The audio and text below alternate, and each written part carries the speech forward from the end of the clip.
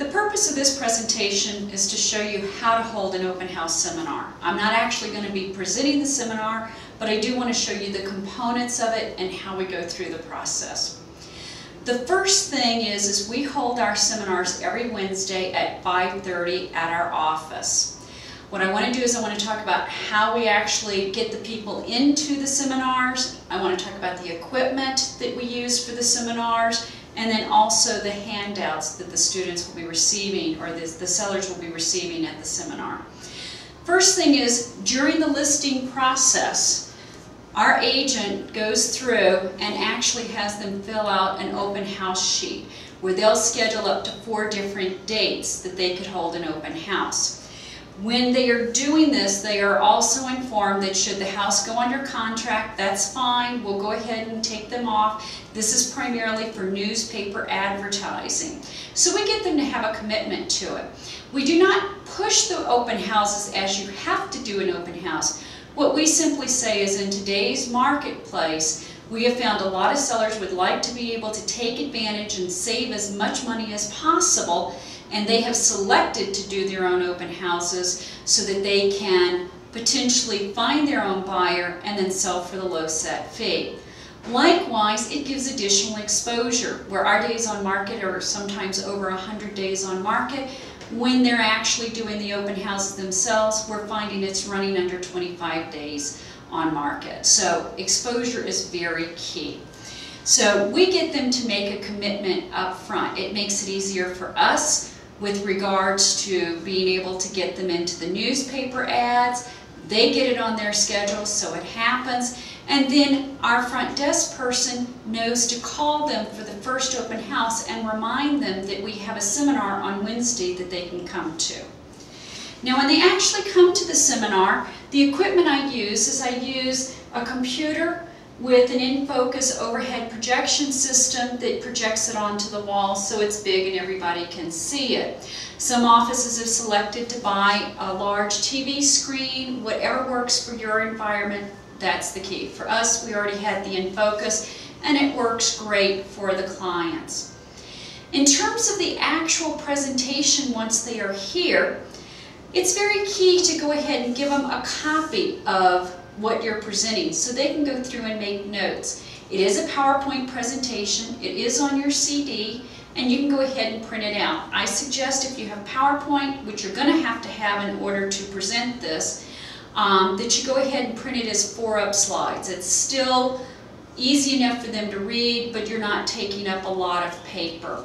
But you'll want to go ahead and print that out for them. In addition, I also give them the seller's kit, which happens to be on your CD. I have made it generic as just help yourself, but if you would like, you can go in and customize it with your office information as well.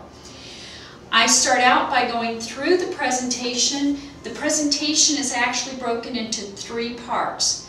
The first part deals with preparing their home to sell, getting rid of things like clutter, organizing the closets, making sure that the bathrooms are picked up, you know, using scents like vanillas and things and cookie smells in order to make the home more enticing.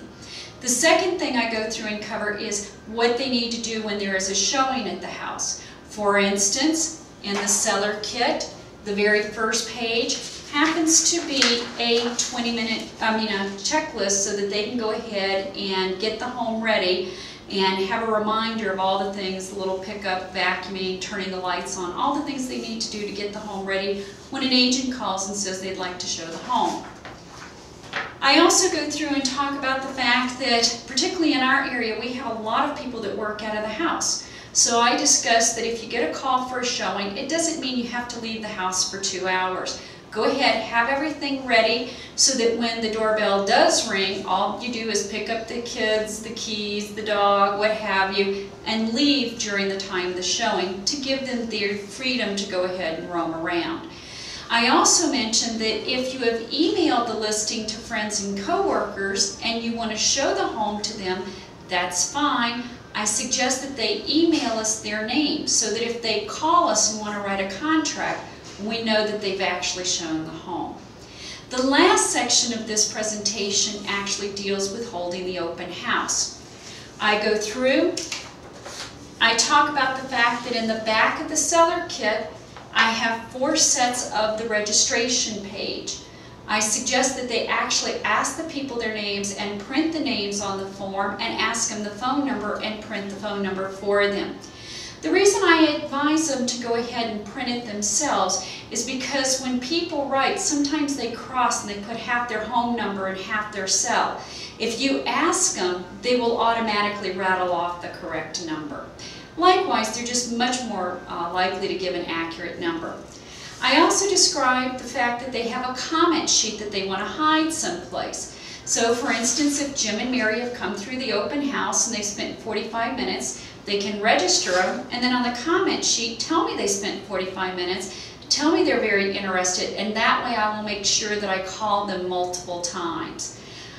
Many of our sellers actually have faxes at the home, so I suggest that they fax it back on Sunday morning and again on Monday morning so we can try to call people over the weekend while they're actually out looking at homes, maybe get them in for a second showing, find out if they want to write a contract. I also uh, go through and suggest that they let the, the buyers coming through know that we're going to be calling them because if they know and they expect it, they're more likely to call us back with feedback. Uh, the reality is everybody is so busy, so we want to be able to reach them. Now, on the flip side, I don't let them know this, but I do stress to them that when they get these, um, how do I want to say this? I want to stress that they want to turn these into us because of the fact that they have now protected that buyer as a buyer they have shown. So if the buyer calls us up and wants us to show the home, we'll still do it for the low set fee because of the fact that they gave us their names and they registered them as a client that they are working with. The last thing is when we are actually doing the calls, and they're not aware of this, but when we're doing the calls, we use this as a chance to find out if we maybe have another home that is a better fit. So for instance, if they walked into a home for 400,000, but they can really only qualify for 300,000, we can convert them as a buyer and then be able to work with them in the price range that matches their needs. So again, in summary, what I tell the sellers at the open house is they need to get the people's names and numbers so that they can protect them as their clients and be able to qualify for the low set fee and they need to get those into us no later than Monday morning at 9.30 because that's our best time to be able to call people back is Monday morning when it's still fresh in their mind, the homes that they've seen over the weekend. And again, these are in the back of the seller kit. The last thing that I do is I play the David Knox Preparing to Sell Your Home video. I gauge this depending upon what the listing agents have told me about the homes. If they say their homes are top-notch, they look like they're model homes, then I will skip this. If the homes are questionable and, and they have not been able to get them to clean up properly or to make certain um, enhancements to the home, maybe painting a room that needs to be painted, then in that case I will go ahead and play the video. I also make sure that they leave with business cards for that particular agent and I tell them when the buyer comes in, if the buyer seems interested in writing an offer, in addition to getting their name and their information on the guest registration sheet, also go ahead and give them some of the cards for the uh, listing agent that has their home listed. The last thing that we do at the end of the session is give them their open house signs.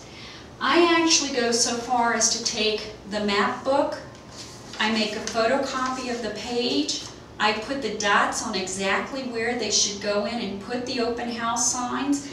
I go ahead and count it. Here in our area, we have an association that is very strict. So we talk about the fact that they are going to get certain A-frames that need to go in areas that are common areas for the HOA. And we talk about the fact they cannot be on the sidewalk or the association will take them away. They need to put them in the grass. We also go through and discuss about keeping them far enough away from the lights, the traffic lights, so that people would have time to change the lane and make the turn.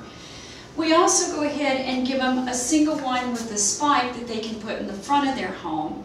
And again, I stress multiple times throughout the entire presentation that they want to take the flyers out of the box at the beginning of the open house, and then at the end of the open house, they want to put them back in the flyer box.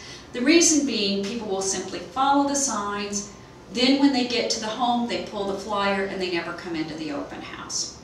So in a nutshell, that is how we do the open house seminar, is by the use of the computers along with the handouts. And if you don't have the computer and you don't have the projector system, you can still go ahead and use the handouts that are on the CD that you've been provided. Thank you very much.